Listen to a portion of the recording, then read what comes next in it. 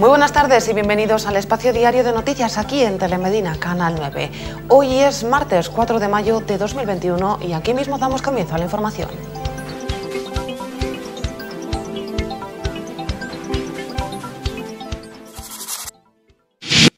Servitrama Transportes te ofrece esta sección. La misma jornada en la que la Junta de Castilla y León eh, cierra el interior de bares, restaurantes y casas de apuestas, no se registra ningún PCR positivo en Medina del Campo. Eso sí, los casos activos continúan subiendo ligeramente. Con los datos actualizados a 3 de mayo, la zona básica de salud de Medina del Campo Urbano no registró ningún PCR positivo en la jornada del domingo. Es así como en la última semana se ha notificado un total de 26 positivos, mientras que la incidencia acumulada de casos diagnosticados en los últimos 7 días asciende hasta los 132 casos por cada 100.000 habitantes. Por su parte, en los últimos 14 días la incidencia también sube hasta los 244 casos por cada 100.000 habitantes. Es así como la Villa de las Ferias registra en este preciso instante 80 casos activos por COVID-19. Medina del Campo vacunará en la tarde del próximo viernes 7 de mayo a la población nacida en 1961. El Polideportivo Pablo Cáceres vuelve a convocar una nueva cita de vacunación masiva. En esta ocasión, los citados durante la tarde del viernes 7 de mayo son los nacidos en 1961, empadronados en los municipios de la zona básica de salud de Medina del Campo Urbano y Rural, Alaejos, Íscar, Olmedo y Serrada. Es importante asistir con el documento nacional de identidad, así como con la tarjeta sanitaria o de mutualista.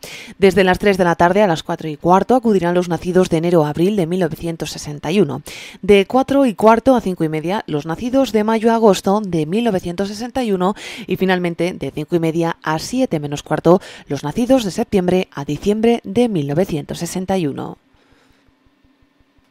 La población nacida entre 1942 y 1945 quedará inmunizada a lo largo de esta semana, ya que se ha convocado la segunda dosis para dicha población aquí en Medina del Campo. Las primeras semanas del mes de mayo llegan con múltiples citas en lo relativo a vacunaciones masivas frente a la COVID-19. Es así como el grupo poblacional de Medina del Campo y su comarca, nacido entre 1942 y 1945, quedará inmunizado este jueves 6 de mayo al ser convocados para la segunda inoculación de la vacuna frente al coronavirus. El polideportivo Pablo Cáceres recibirá de 9 y media a 11 menos cuarto a los nacidos en 1942, justo de 11 menos cuarto a 12 a los nacidos en el 43, de 12 a 1 y cuarto a la población nacida en el año 1944 y finalmente de 1 y cuarto a 2 y media a la población nacida en 1945.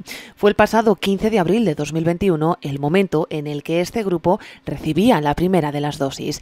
Tal y como aseguró el concejal de deportes Juan Antonio Pisador hace escasamente una semana, las instalaciones del Polideportivo Pablo Cáceres han quedado de manera permanente habilitadas para el proceso de vacunación.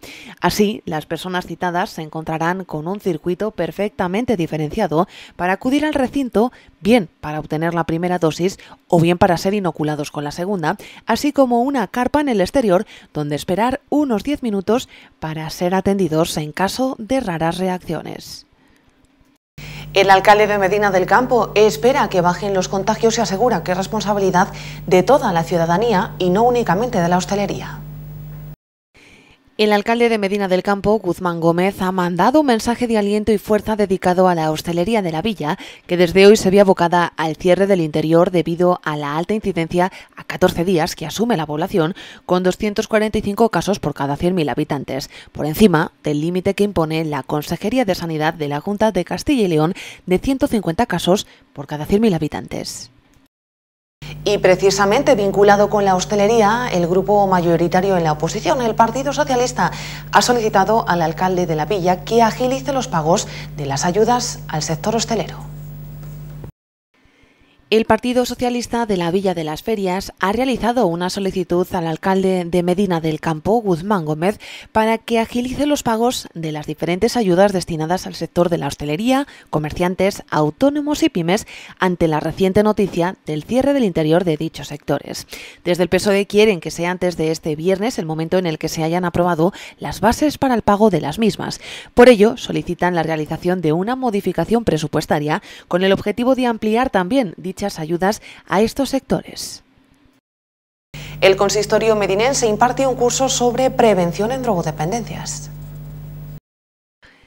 El Ayuntamiento de Medina del Campo, a través de la Concejalía de Juventud y dentro del Plan de Adicciones, pone en marcha un nuevo curso de formación online bajo el título Prevención de Adicciones y Animación Sociocomunitaria. Los contenidos temáticos se impartirán en 20 horas de formación online y una sesión webinar de una hora de duración y abordará aspectos como los fenómenos de las adicciones, con y sin sustancia, también conceptos básicos en prevención, así como el papel del mediador de esta materia. El plazo de inscripción finaliza el 18 de mayo y el curso se va a desarrollar del 24 de mayo al 18 de junio. La Cucubán y los cuatro gatos, los triunfadores en el concurso convocado por la 19 concentración de charangas Villa de Peñafiel. Finalmente, un empate técnico ha derivado en que los triunfadores del concurso convocado por la concentración de charangas de Peñafiel sean dos, la charanga medinense Cucubán y los cuatro gatos de la Bañeza.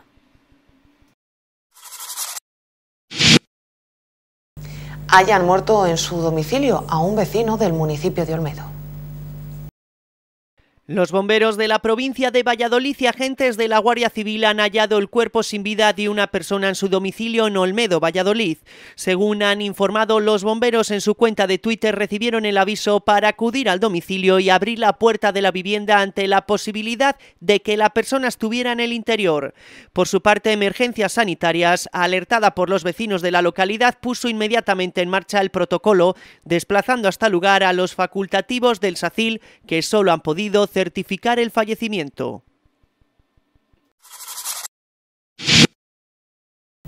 Al no haber vivido ninguna modificación los aforos de las plazas de toros de nuestra comunidad, la Feria Taurina de Valladolid se ha visto aplazada. Los festejos taurinos de Valladolid han sido aplazados por las medidas adoptadas por la Junta de Castilla-León relacionadas con la limitación de aforo y en las corridas de toros. Los festejos previstos en Valladolid para los días 8 y 9 de mayo se ofrecerán los días 12 y 13 de junio a las 8 de la tarde y los cortes para el día 6 de junio a las 6 y media de la tarde, manteniendo los carteles y el mismo orden. Los abonos y entradas que hayan sido adquiridas serán válidas para los festejos del mes de junio. Ángel Ibáñez visita las obras de rehabilitación de la Casa Consistorial de Olombrada. Yo creo que es un momento bonito eh, que significa culminar eh, o finalizar un proyecto importante para el Ayuntamiento de Olombrada en el que la Junta de Castilla y León ha estado comprometida desde hace ya un tiempo. Eh, yo creo que desde el inicio de legislatura el mandato del presidente de la Junta, Alfonso Fernández Mañueco, pasaba por hacer un especial esfuerzo con los 2.248 municipios de todo Castilla y León. Estamos en una actitud permanente de escucha y de colaboración con nuestro mundo local. En estos momentos, además, más que nunca, cuando estamos todavía sufriendo las consecuencias de una pandemia que no solamente ya es sanitaria, sino que está derivando también en una crisis económica y social, necesitamos estar al lado de aquellas entidades que más cerca están de nuestros paisanos, que más cerca están de nuestros vecinos, que tienen la capacidad de prestar los servicios que demandan en el día a día, en este caso las personas que viven en Olombrada. Y este proyecto es una demostración de cómo la colaboración entre instituciones es capaz de multiplicar el efecto al que, al que pueden llegar las distintas administraciones cuando se ponen de acuerdo. Hasta Santa Coloma de Somoza se ha ido el vicepresidente de la Junta de Castilla y León y ha emitido estas declaraciones.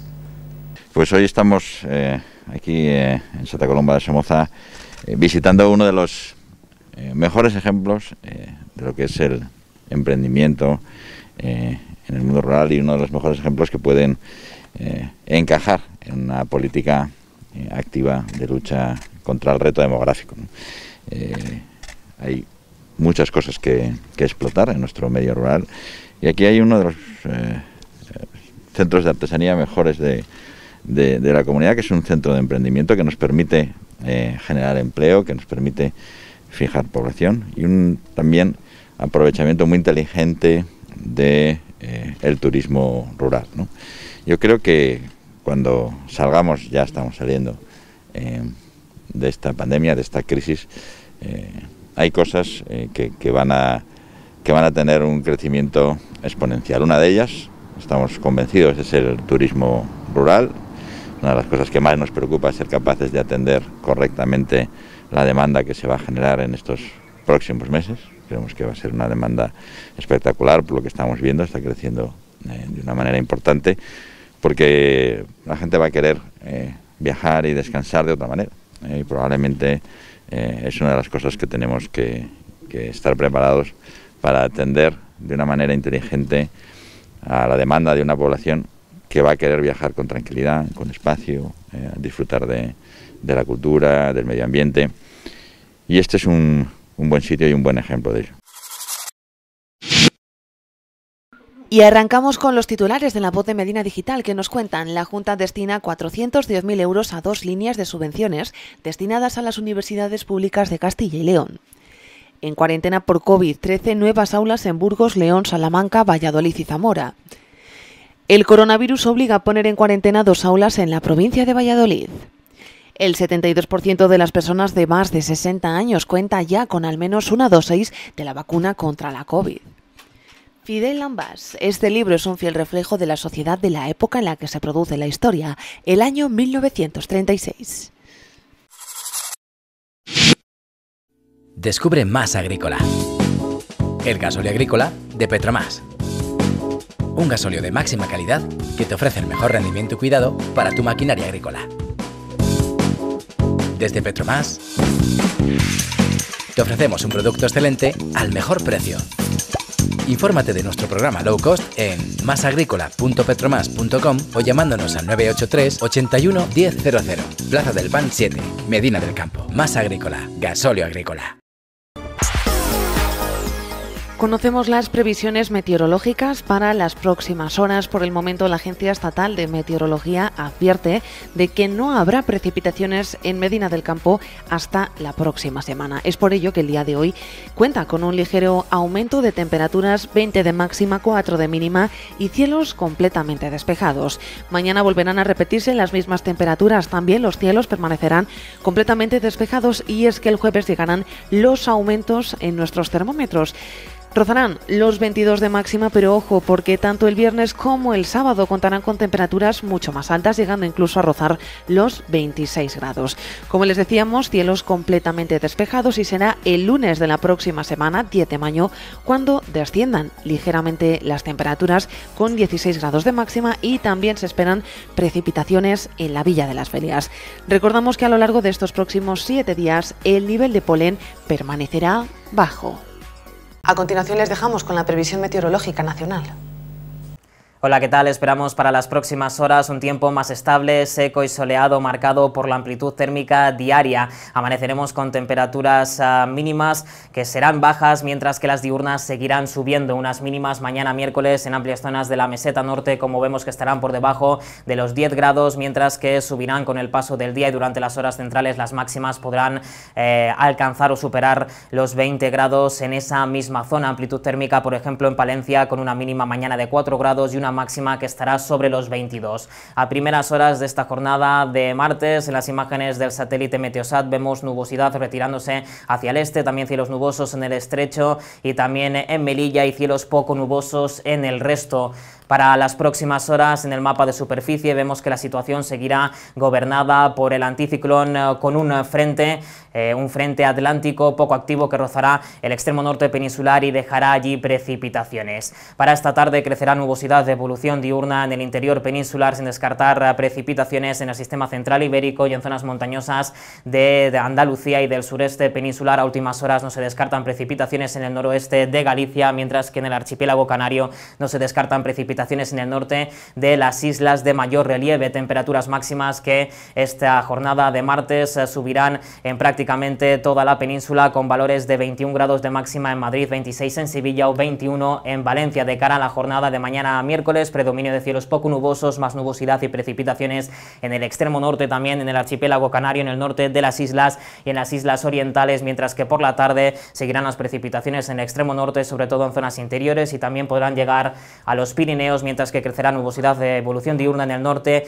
y en el este peninsular, sin descartar chubascos en zonas altas del área mediterránea. Temperaturas máximas que subirán el miércoles en la mitad sureste peninsular, con máximas en valores de 23 grados en Madrid o 22 en Valencia. Esto es todo, nosotros lo dejamos aquí. Si desean más información, no duden en consultar nuestra página web.